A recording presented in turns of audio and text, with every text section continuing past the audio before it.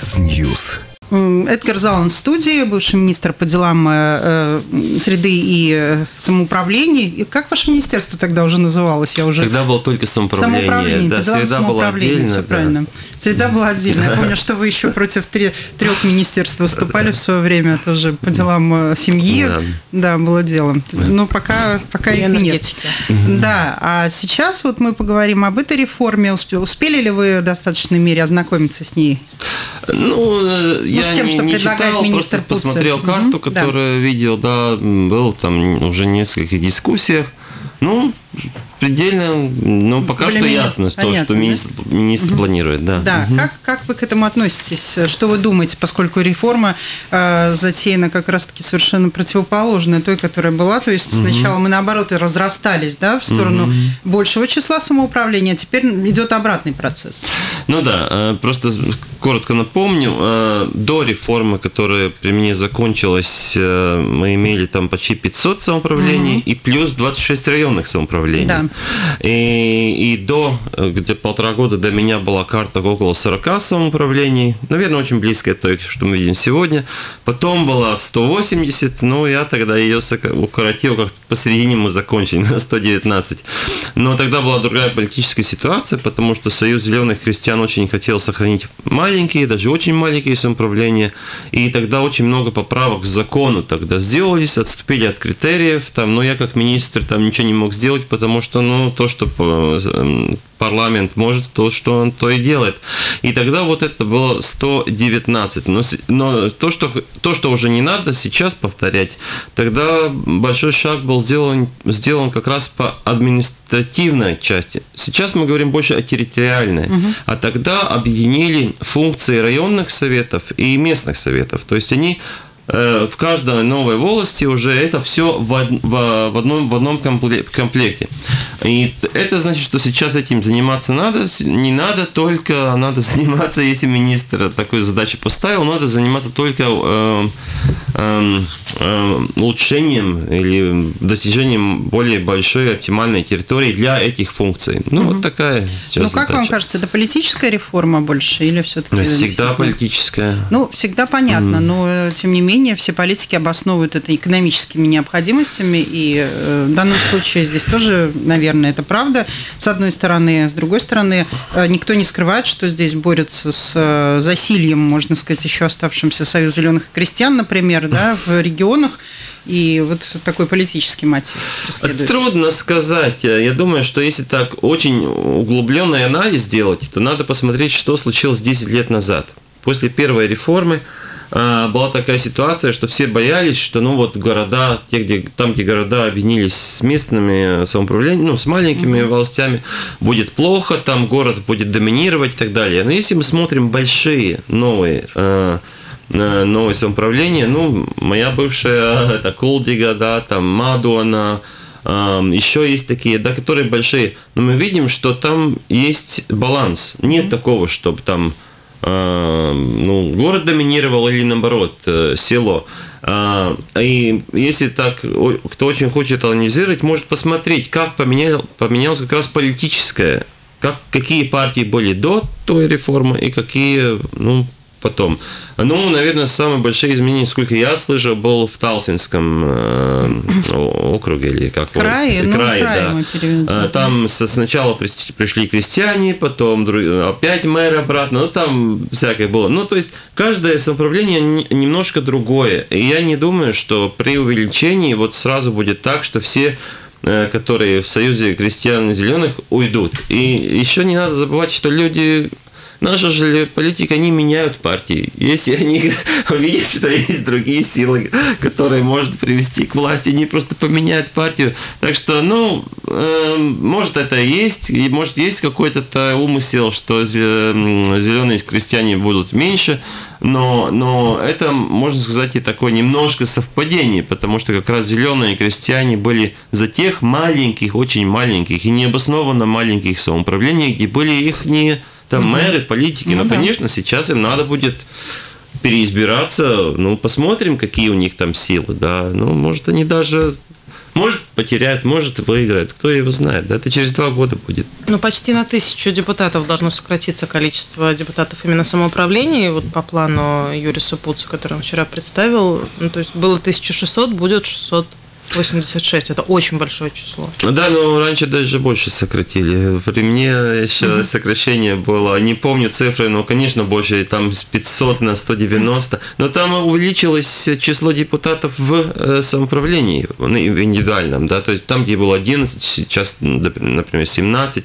То есть увеличивая территорию, там, ну, конечно, они математически они не суммируются, угу. но немножко есть там, ну, как э, пересчет такой, что так мало депутатов, наверное, и не, не будет, будет немножко плюс, ну, для побольше территорий.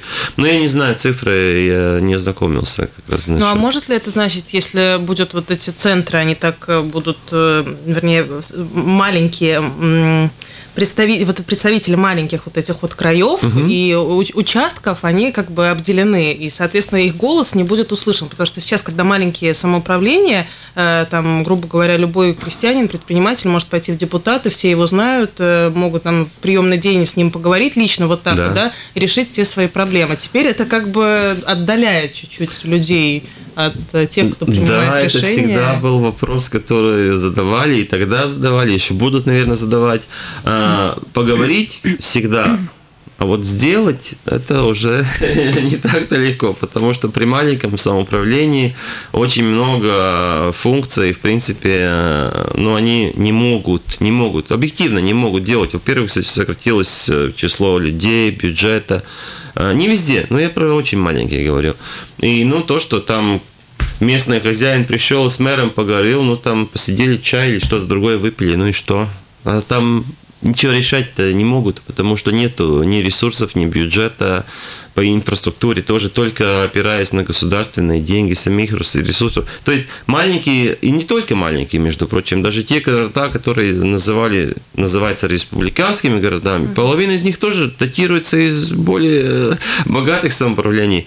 То есть, ну, я думаю, что если министр взял курс на то, чтобы эту ситуацию улучшить, ну, надо посмотреть, как это выйдет. я не думаю, что карта останется вот такая, как мы видим ее, потому что там есть Руя, Навалка, они там, ну, не, ну... Будут отстаивать Да, будут свои. отстаивать свои права. Но то, что хорошо, я думаю, то, что, несмотря на все территории, то, что, в принципе, есть одна принципиальная вещь, которая тогда не удалось сделать, тоже из-за из-за зеленых крестьян и из-за позиции их. Э, они хотели оставить э, города свободными от сел. То есть и еще добились того, что, что было не 7 республиканских городов, а сейчас 9. 9. Да. Угу.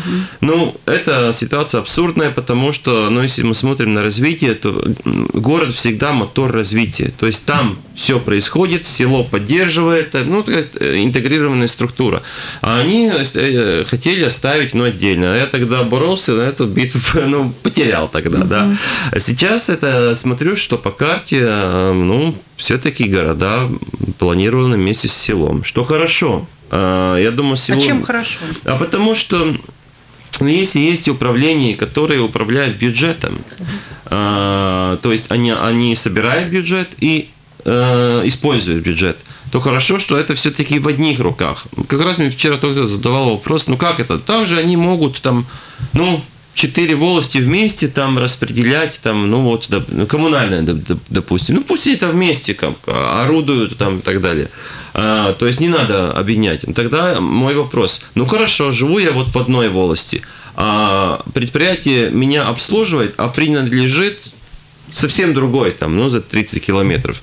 А кому мне идти и жаловаться, если мне не нравится, как меня обслуживают? Это я в другую, в э, самоуправление пойду, чем-то буду, я же не избираю, я не могу избрать этого э, начальника, который, да, то есть э, это, ну, как такой простой пример, но он показывает, что если я живу в какой-то конкретной территории, я избираю местную власть, эта власть собирает от меня деньги, и потом эти деньги используют, ну, во благо все, все, всей территории. То есть э, это должно быть в одном месте. А если я как житель села пользуюсь 90% городской инфраструктуры, ничего там не плачу, вообще в, в налогах не участвую, да, но хочу там в школу мои там угу. дети ходят, там по дорогам езжу и так далее. Ну, она дезинтегрированная структура получается. Нормально, если это все в одной территории, одним управлением, я могу избирать это управление, потому что я там участвую, я там плачу налоги, я из этих налогов получаю. Ну а вот как, например, с рижанами, которые, допустим, очень много здесь жителей, которые живут не в Риге,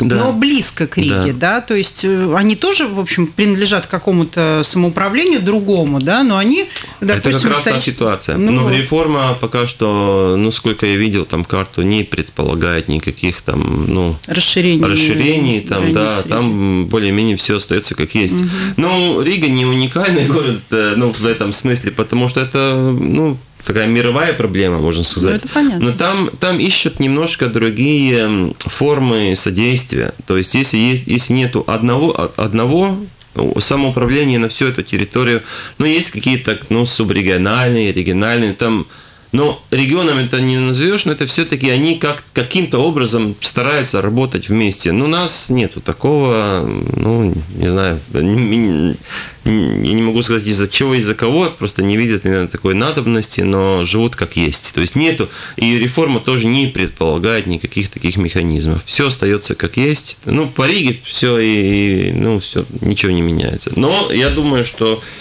ранее или позже это надо будет об этом думать. Ну, а вы считаете, что, в принципе, если человек работает в Риге, э, ездит в Ригу и здесь проводит большую часть времени, то он должен в Ригу налоги платить, а не в свое самоуправление? Он должен в Ригу налоги платить, он должен избирать он рижское самоуправление. А. Но, но это пока а территория разделена. А я поэтому и говорю, если территория разделена, угу. то это невозможно. То есть он пользуется этой инфраструктурой, он тут живет э, три четверти своего времени, но, но спать там едет. Но не только спать, жить, может спать, быть, с ребенком погулять. Там, едет в другое самоуправление. Но эта ситуация, ну, неправильно, может, неправильная. Ну, хорошо, да. а как тогда той, э, той волости, в которой он едет спать, что и вообще ничего не получать тогда получается? Это налоги из-за того, что ее житель работает в Риге. Ну, есть ну, предложения, вот есть предложения, там несколько из Союза Союза самоуправлений, что там э, часть налогов от э, предприятия получают по месту жительства или по месту работы, там, э, ну, как-то разделяются между там Рига или там соседним самоуправлением, то есть налоги как-то потом перераспределяются, но это все очень сложно. Самая простая система, что человек, ну, это не всегда, сто процентов никогда так не будет, но все-таки нормально было бы, если большинство жителей жили бы в той территории, где они и работают. Большинство, не все, всегда, ну, кто-то в Брюссель там ездит, еще куда-то, да, но, но э, если нету плана об объединении Риги с соседними властями, то надо думать о, о других механизмах. Идеально было бы, если бы Рига вот до кольцевой дороги все было одно самоуправление. Это было бы но идеально. Все равно кто-то будет жить за кольцевой дорогой. Всегда будет, но, но не большинство, но не большинство. Да, я думаю, что это ну, в пропорции угу. это суть. Да. Сам большинство должно жить в той территории, где они работают. Тогда вот эта система декларирования, она совсем, получается, фиктивная становится. То есть, получается, если человек, ну, допустим, ну, реально живет, работает. Я о своем могу случае угу. сказать. Я живу в трех километрах угу. от границы Риги, и получается, что я все ну, три, как вы да? сказали, три четверти да. времени живу да, в Риге. Да, да. Вот, но тем не менее задекларирована я там, где я живу, и, соответственно, Конечно. у меня получается, мне надо фиктивную декларацию делать для того, ну, чтобы быть рижским жителем. В принципе, ну, как у меня нет недвижимости. Как ее, как ее вот дизайн ее сделали, можно так сказать, да, как ее спроектировали, эту систему декларации.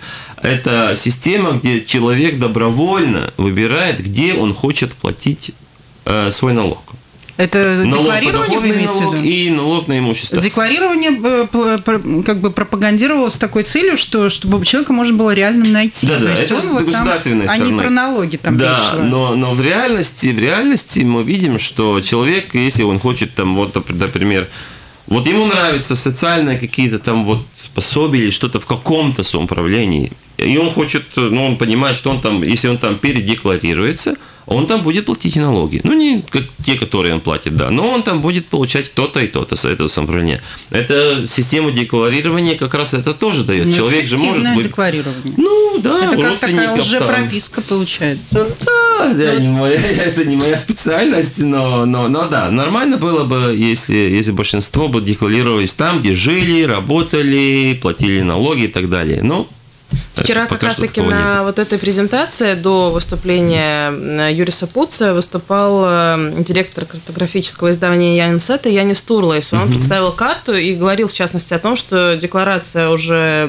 Вернее, дошли наконец до того, что декларация не показывает реальной картины, и показывали карту Э, потребление электроэнергии, которое реально показывает, вот там прям интерактивно светилось все, вот эти центры несколько, да, там их было Венспил, Слепая, Рига, э, Цесис, Сигулда угу. и Дагов, Пилсерезакна, где большинство, видно, да. что люди потребляют электроэнергию. И э, была еще одна карта представлена по разговору мобильных да. телефонов, и там то же самое было. Ну, вот эти центры, они очень сконцентрированы. Насколько вот, согласно таким данным, можно как-то делать выводы? Ну, э, можно делать выводы, этим они и занимаются, эти карты уже ну, давно показывают, да, это ну, довольно интересная а, аналитика, но эта аналитика, ну, надо понять, что самоуправление не всегда э, следует экономической активности. Ну, это не всегда. Это хорошо, если так совпадает, если можно так сделать.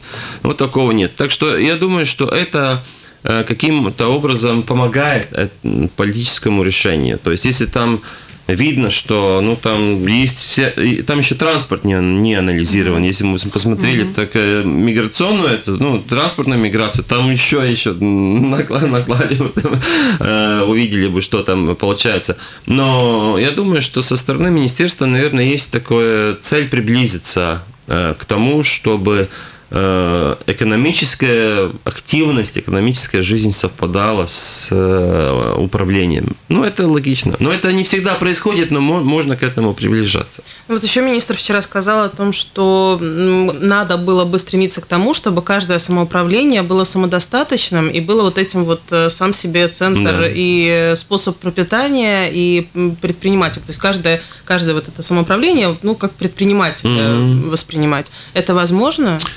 Возможно, но трудно. Я это и министру говорил, и то по жизни вижу. Я уже почти 9 лет в частном бизнесе, да, работаю со многими самоуправлениями, которые, ну вот, по строительству, по проектированию. А, до сих пор вижу, что самоуправление не понимают, кто их содержит. Ну, это, это видно, что... Как это? Ну, они, а, ну, они любого инвестора считают дойной коровой, да, то угу. есть дом думает, если ты хочешь что-то построить, то у тебя там неограниченные ресурсы, ты можешь и ту дорогу, ту дорогу и так далее. То есть... Э, Мышление неправильное. Мышление неправильное, да, то есть э, всегда, ну, вот самоуправление, э, это, Тогда, когда мы говорим, министр говорит о содержании своем, ну, mm-hmm. то есть э, само содержание, он считает, что, наверное, там будут изменения в, в фонде выравнивания, да. как там выравнивание, да? Mm-hmm. выравнивание, да. А, но есть еще другая сторона, да, самоуправление должно понять, если там инвестор, там, да любой, кто хочет развиваться, если он приходит в самоуправление, то ему надо ты должен быть таким самоуправлением, что ты можешь ему помочь, а еще не отобрать, чтобы там ему ухудить ситуация и радоваться, что он там вот ко мне пришел, да. То есть, если мы говорим о фонде выравнивания, то у нас э, это уже было, надо было давно сделать, уже после первой реформы надо было кардинально менять Потому что это уже годами видим, мы видим, что если очень много самоуправлений датируется, но что-то в системе неправильно, потому что это, как сказать, демотивирует тех, которые зарабатывают. Им просто отбирают деньги, но всегда это, по-моему, ада же, это их мэра цитата, да. Зачем мне просить 3 миллиона там займы у государства, если мои 3 миллиона уходят в резах, и они там салют на эти деньги делают. Ну, это утрированное, ну, вот такая вот ситуация, да. То есть у нас другая система, чем в Эстонии. В Эстонии государство имеет фонд, я не знаю, какой он сейчас, но 10 лет назад был 100 миллионов примерно евро. Угу. То есть государство говорит, вот этих не трогаем, которые зарабатывают, они самодостаточны, а вот тем, которые там мы им доплачиваем, да. Когда ты доплачиваешь, ты какие-то условия, наверное, не отбираю тоже. у богатых. Не отбираю у богатых, угу. да. Но мы такой, до такой системы не дошли, мы отбираем у богатых, да. Но это неправильно, по-моему. Угу. Да. Это надо тоже менять. У нас звонок есть, да, Эдгар Залан в студии, бывший министр по делам самоуправления, да, надевайте наушники, слушаем вас, здравствуйте. Слушаем вас. Доброе утро. Доброе утро. Вот из практики моей, когда я работала бухгалтером, я помню, что люди задекларированные э, в, другом самоуправлении, работавшие в Риге, во-первых, э, код налоговой книжки совпадал с кодом их самоуправления. И, во-вторых, э, подоходный налог делился на две части. Если я правильно помню, 20% перечислялось э, на, на Ригу, а 80% перечислялось на то самоуправление, в э, котором был задекларирован человек. И там было все довольно ясно, четко расписано. А что сейчас это по-другому происходит? Главное, что код налоговой книжки совпадал э, с местом декларирования. И никакой налог не мог потеряться при этом. Вот как сейчас это происходит? Спасибо. Спасибо. Ну, я не специалист по налогам, но я не уверен, что 20%, я не, не знаю, правильно или нет, но система у нас такая, что 80% от э, подоходного налога получает то самоуправление, где человек декларирован, а 20% уходит в государственную часть, Да. не в Ригу, по-моему, так. Ну, я не знаю, как сейчас, может, поменялось, но, но да, э, э, государство, то есть самоуправление не получает 100% налога, только около 80%. У нас крестьяне активно датируются и фондами Евросоюза в том Да. числе используют, и их э, на них эта вот реформа как-то на распределение еврофондов может подействовать? Ну, Маловероятно, потому что фермеры, фермеры, крестьяне, вообще сельское хозяйство в основном работает с ЛАД, то есть Лаук Атбалс Dienesti, да. Там местное самоуправление. Единственное, что есть, это дороги. То есть, ну, есть много предприятий, до которых там, ну, особенно там фермы новые тоже построены, где нету ферма новая, дорога старая, да, то есть это проблема, то потому что там, там вывести молоко или довести это, э, это проблема. Но это единственное, где есть связь с самоуправлением. И также по строительству, там бюрократии можно меньше немножко, если хорошее самоуправление так. Но в основном по деньгам, э, по фондам это лад. То есть там не на, ничего не, не поменяется. Сейчас активно и обсуждение этой реформы, и в частности вчера тоже говорили о том, что это не, вот, не ну, и вы тоже сказали, что это не, не, не последняя карта, которая есть. Сейчас вот как раз-таки этот период обсуждения, и уже достаточно скептично, и Союз самоуправления тоже раскритиковал, Всегда были, сказал, про- что они всегда были против Вот я реформы, про то, да. что против здесь, насколько это обосновано, всегда против реформ, наверное, выступают. Но кто здесь победит, здравый смысл, и насколько много здравого смысла в этой реформе вы сейчас видите? Ну, есть, э, э, если мы там не смотрим там на карту и там на конкретной территории, здравый смысл э, реформы добиться, чтобы в центре каждого соуправления все-таки был город. Большой, маленький, но город, а не просто вот село, и там с местным так, скажем, поселком, да. Потому что город, ну, это все-таки, как есть сердце и сказать, кровеносная система, это то же самое, да. В каждом самоуправлении должен быть в центре город, и, и он там должен связан с дорогами, с селом, ну, как нормальная органическая, органическая такое, ну, стру- органическая структура. А, проблема в той в нынешней карте, которую мы имеем, как раз в том, что есть э, там край волости, где ну, нету. Ну, есть село в центре, нет даже там э, средней школы уже, да, люди уезжают. далее. То есть для людей они то, что вы сначала говорили, они могут с мэром идти поговорить, но им, но они не чувствуют, э, ну там какой-то драйв, там развитие, ну какое там, его не просто живут, да, а а цель не только жить, проживать, но а и развиваться, и э, потенциал развития он всегда в городе, да, только надо правильно там территорию объединить, да, тогда. Будет этот потенциал, и так говорят о том, что у нас людей все меньше Да. и меньше, и сейчас как раз-таки вот этот новый такой вызов, и, да, там создавать какие-то предприятия, возможно, как-то развивать вот эти вот теперь уже 35 самоуправлений. А будут люди, которые будут этим заниматься, которые не захотят поехать в Ригу, потому что здесь уже все готово, здесь уже ничего развивать не надо особо. Школы есть, сады есть, площадки есть, парки есть, э, предприятия есть. И не надо изобретать велосипед. Ну, люди, люди, мы понимаем, они уезжают, а люди приспосабливаются. Если они видят, если они видят государство, где им кажется, что, что уже соорганизовано, только работа, получай зарплату, живи в, хороших, живи в хороших условиях, конечно, они уезжают. Это они делают. А, если, если поменяется, это уже проблема эмиграции, да, а, реформа автоматически ничему такому не помогает. Но эм, у меня все-таки есть там имущество, там и ресторан тоже в Колдике, в моем, в моем бывшем городе. И я э, вижу, что хорошее управление э, города, и если там начинается развитие, потому что можем сравнить, что там было 20 лет назад, что сейчас, да, ситуация намного улучшилась. И я вижу, что есть люди, которые выбирают и думают о том, как э, из Риги, э, кстати, как там жить, Э, что там жить намного комфортнее. Ну, не по всем э, э, параметрам, но есть где это комфортнее, особенно с малыми детьми или там в старости.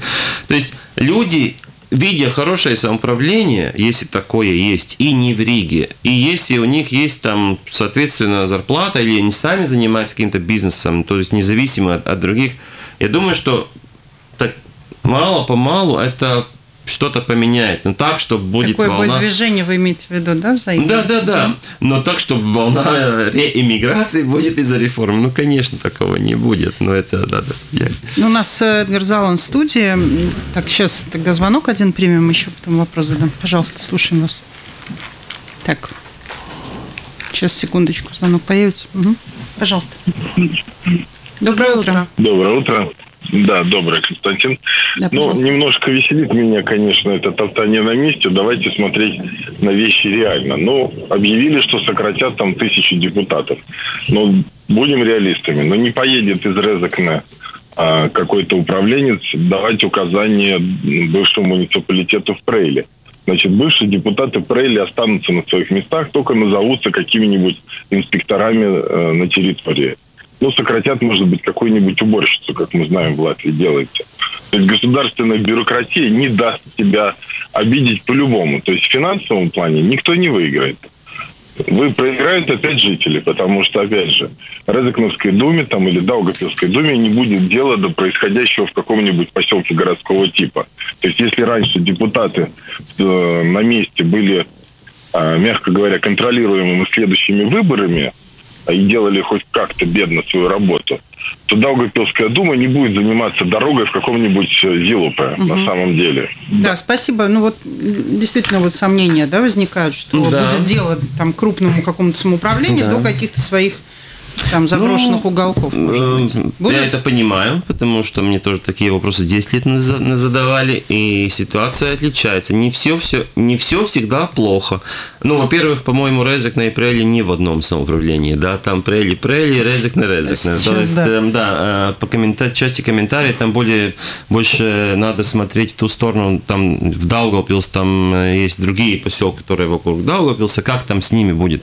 Опять могу сказать по тем Э, краям, которые большие, которые уже создавались 10 лет большие, но там видно, что если, если человек просто не хочет просидеть 4 года в кресле, но хочет там переизбираться, у него есть там... Я думаю положительно, ну, у меня такой настрой, да. Я вижу, что э, опять-таки, то же самое, просто, ну, это пример, который я вижу, потому что я, я там э, по субботам, воскресенье живу, это в Колдиге, да, там поменялось э, политическое управление, и там 50 на 50 процентов сельчане и горожане, да, ну, плюс-минус там, но... И то, что поменялось в первом уже году, э, там была программа, ну, там небольшие, но все-таки инвестиции, сразу досталось что-то всем.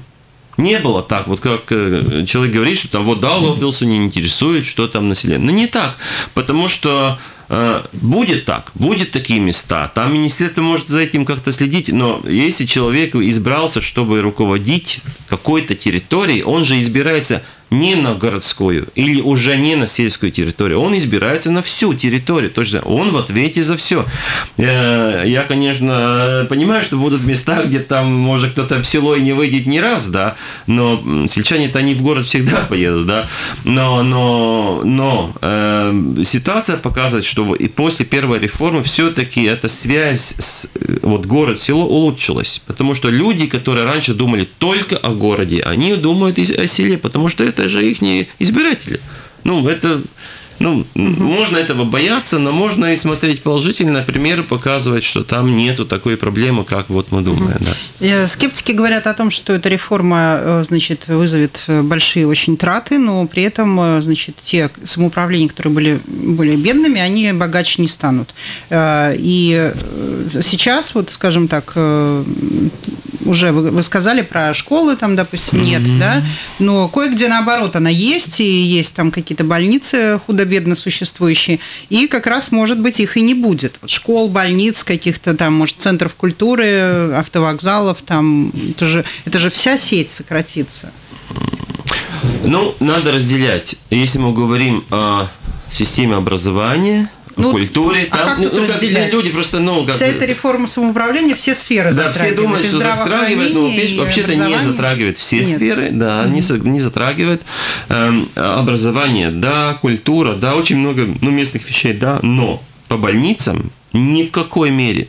То есть можно латвийскую карту резать, разрезать, объединять, разъединять Больницы курирует Министерство здравоохранения. Если они скажут, будут три больницы, будут три. Там вообще нету никакого э, никакой связи. Если было, были бы у нас регионы, то есть это уже другой уровень, про который никто не говорит. Ну, были там Земгала, Курзами, Вицами, Латгала, там уже тогда на этом уровне может быть как-то, ну там сказали бы, что на один регион одна больница и так далее – но эта реформа, о которой сейчас говорим, это не реформа, она не касается регионов, она не касается системы здравоохранения.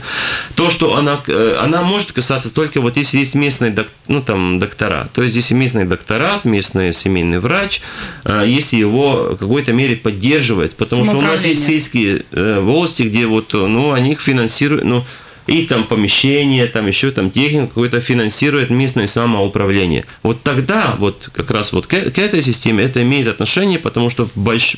если там край будет больше, ну тогда может там что-то, ну как-то, ну какие-то вопросы насчет этого там решаться, ухудшаться, улучшаться, угу. но, но по больницам это не имеет. И также по дорогам, вокзалам и так далее. Это система, которая курирует э, Министерство путей сообщений. Они курируют, но это же тоже, они же смотрят смотрят на реформу, на то, как увеличивается или уменьшается количество людей. Да, то есть это же уменьшается. Все, все, уменьш... все а, количество людей вообще уменьшается, да. и, и по реформе она...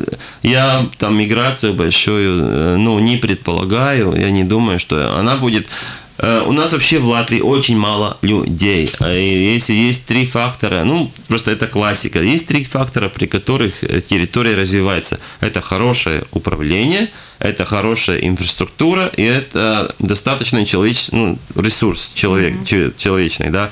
То есть сейчас мы говорим только о, об возможном улучшении управления. По инфра... инфраструктуре плана нет, по людям Угу. Плана тоже нет, да. Но там не надо винить министерство одно, там это уже правительство, да, которое должно над этим работать. Пока что мы говорим только об одном, э, одной ноге этого стульчика, да. Там еще две вещи, которые должны решаться отдельно. Пока планируется, что эта реформа должна произойти, закончиться к следующим выборам самоуправления. Это всего три года. Ну да, если она не произойдет сейчас, то смысла оно не, не будет. Надо еще Успеют? два. Ну, я успел в течение года, да. Не получится так, как у нас вот с, с реформой здравоохранения. Вводили со скрипом, что-то не пошло, просто, вы знаете, на следующий день свет не включился, в прямом смысле этого слова, угу. и теперь вообще отложили на полтора года. Ну, трудно. Я, ну, я так, если я сравниваю системы, то, по-моему, система самоуправления по, ну, по своей сути, по числу участников, по всей, по, ну, она намного сложнее. Ну, то есть там нет такого, что кто-то взял, придумал, сделал, mm-hmm. да. Там только министерство и врачи. Ну, так, ну, да еще аптеки, там магнаты какие-то. Но все равно это там, и вот там, как не можно сделать реформу, я не понимаю. Потому что, по-моему, там как раз все ну, намного угу. более ясно. Если ты хочешь чего-то достичь, правильно придумай, сделай. В системе самоуправления это намного труднее, но, но, но сделать можно. Успеть. Да. И спеть можно, да. И вот, а, звонок. Да, надевайте наушники еще, пожалуйста. Эдгар Залан, студия у нас. Слушаем вас. Здравствуйте. Пожалуйста. Доброе утро. Да, доброе утро. Э, я с очень многим чем согласен, именно с точки зрения того, что господин Залон сказать по системе, а не по людям. Но вот я бы обратил бы внимание на две вещи. Города ведь когда-то города как новое место людей, как самоуправление, организм, образовывались не на пустом месте, там, где люди автоматически стекались. То есть при сегодняшней ситуации, когда люди из Латвии истекают, у нас э, получается, что мы сконцентрируем, это фактически неизбежно, мы сконцентрируем э, людей и ресурсы в большие центры. Это раз. И второе. Прозвучала ну, хорошая мысль о том, что ответственность будет за всю территорию, а не за только самоуправление, а за всю территорию самоуправления. Э, в этом отношении яркие примеры как раз город Юрмала, где отвечают депутаты, стараются за то место в своей территории, где больше избирателей. То есть, э, где больше избирателей, туда уходят и деньги по городу. И есть места, где люди, ну, не очень довольные. Боюсь, что и при этой реформе так же самое будет. Но вообще-то удачного дня. Все хорошо. Спасибо большое. Спасибо. Я, да, я согласен. По первому вопросу, по первому вопросу, ну, э, это, это не только реформа, но и вообще э, планы развития государства, территориальное, региональное планирование ну, государство, не, я не про Латвию, но государства разные стараются бороться с этим, чтобы не было развития только ну, как сделать так, чтобы не затормозить, э, вот, например, Ригу там или Варшаву или что-то другое, а как развить другие города? Ну, на это есть, э, так и называется, ну, политика полицентрического развития. Ну, пока что мы это делаем реформой, можно так сказать. Мы хотим эти города как-то с силами объединить, но там должна быть какая-то тоже политика. Ну да, конечно, риск-то насчет Юрмала, да, но Юрмал немножко другой город, он весь город, там села нет, но там как раз это очень ярко видно. Я согласен с тем, что ну, по избирателям смотрят. Ну, может, в Юрмале вообще должно быть лучшее управление, но как-то оно там ну, я, там вообще-то он странный город, но курортный, курортный город, но всегда немножко другой, да, оно такой. Не такой, он да, до сих пор да, странный, да, на ваш печальный думаю. опыт тоже с ним борьбы. Думаю. Да, в свое время. Пожалуйста, еще звонок. Слушаем вас. Здравствуйте. Доброе, доброе утро. утро. Да, доброе. У меня такое, такое интересное как бы, наблюдение, что над Латвией слишком много ставит таких экспериментов в плане реформы. Вот. Может быть, проще взять какую-нибудь отдельную модель, уже проверенную в каком-нибудь государстве, и внедрить ее здесь, нежели сделать там одно, не получилось, потом еще другое, деньги утекают, народ недоволен, и ничего не получается. Спасибо. Да, спасибо большое. Ну да, но сначала, когда, э, ну, это уже было в 90-х, когда уже начали говорить о реформе, тогда всякое, там, смотрели на, на датчан, да, там, и у них там несколько очередей реформы было 4 или даже 5, да, там много от них учились, но каждое, каждое государство все-таки другое, и э, все-таки такое, ну, сказать, достопримечательность или нет. Ну, в Латвии проблема, да? Да, в Латвии проблема, что у нас очень мало людей. Если мы смотрим по территории, то у нас людей намного меньше, чем мы тут можем содержать, и, ну, которые тут могут жить. И, и поэтому у нас не работает вот та модель, которая, например, там в Дании, там 16, я не знаю, 16, uh-huh. по-моему, миллионов. Ну, раньше было меньше. То есть, и, и, мы не сравниваемся. Там, где много людей, там я про три фактора рассказывал, там совсем по-другому всякие вещи работают. У нас не работает, у нас идет... Ну, у нас и иммиграционная да, политика все, другая. Да, все, все по-другому. Так что можно смотреть, но так перенять это не работает. Угу. Как вы думаете, как быстро люди привыкнут из вот маленьких э, тех территорий, которые объединяются с большими городами? До сих пор кто-то старшее поколение называет там улицу Бривиус, улицу Ленина и какие-то, ну, такие вот вещи а, а тут, ну, бытовые. А, знаете как, ну как, э, это же и при той реформе в девятом году а, названия сел не поменялись, названия городов не поменялись. Люди-то, в принципе, живут там, где, если они там живут, mm живут где жили, адрес такой же, только там, ну, там не поменяются? конечно, э, это была одна из целей реформы, чтобы, ну, там, какой-то, ну, связь с местом э, не потерять. Но, но полити... поменяется только, только политическая система. Если вы так говорите, знаете, это то же самое, чтобы если в парламенте, ну, не то же самое, но похоже, что его вот число парламентариев сократили бы там на 50. Ну а что поменялось людям там на улице? Ничего. Ну вот, лично, ничего не... То же самое будет. Тут 99% вещей не поменяются. То есть это вот, ну вот, как сказать, много шума, ничего, да, это тоже имеет какое-то, ну, есть, потому что люди думают, что это и как коснется, ну, надо сделать интервью, что что 10 лет назад было, лет назад было, разве там что-то очень поменялось для каких-то людей конкретно? Ну, я Спасибо. думаю, что нет. Только Спасибо для тех, большое, которые да. близко к политике, вот тем там вот меня, них, к администрации, да. им ну, меняется, конечно. Да, Эдгар Заланс, бывший министр по делам самоуправления, был у нас сегодня в студии. Спасибо большое